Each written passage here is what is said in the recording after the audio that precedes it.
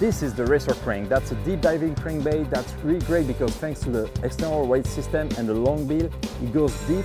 You can roll it slow, you can burn it fast, you can power fish that bait.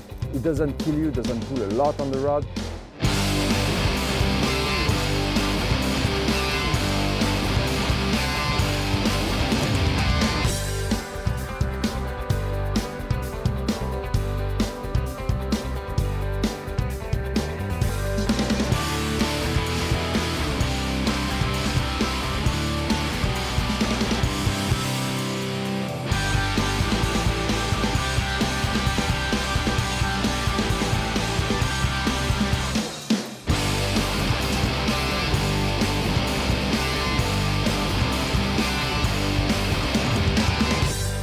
That's really the kind of bass that makes you feel happy.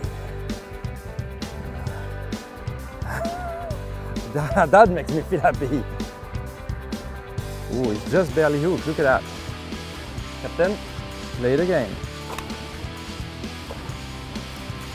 Yeah. All right.